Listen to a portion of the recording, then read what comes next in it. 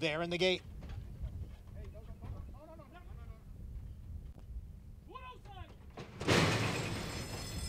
And they're off. War Toxin, Jackie's Warrior, Sound Money on the outside.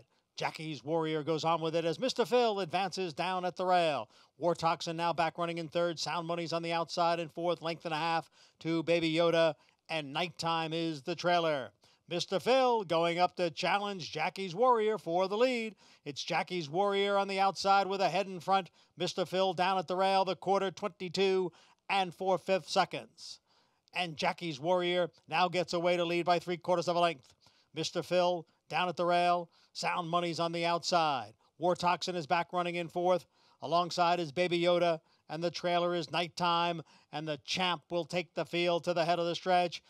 Jackie's Warrior in front now by two and a half lengths.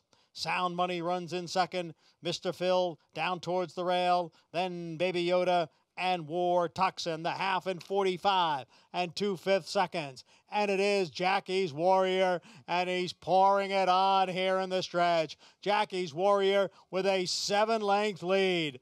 This is the grade two True North, but it's a grade one performance again by Jackie's Warrior. He won by five, and the final time, one minute, 15 seconds.